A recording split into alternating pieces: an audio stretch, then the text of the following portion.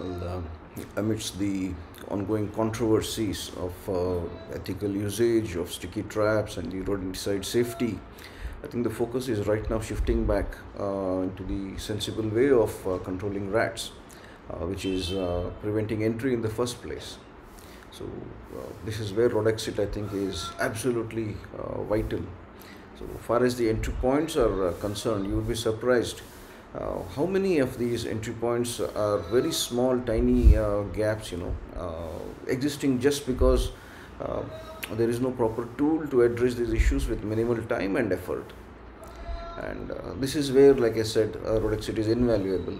Installation is quick. The uh, strips are virtually indestructible by rats, and the product is so durable that the uh, initial investment is well uh, well worth the cost uh, that goes into investing in in the first place. Uh, the challenge now is to make customers aware of the uh, product and the features, the advantages, and the benefits of uh, RodeXit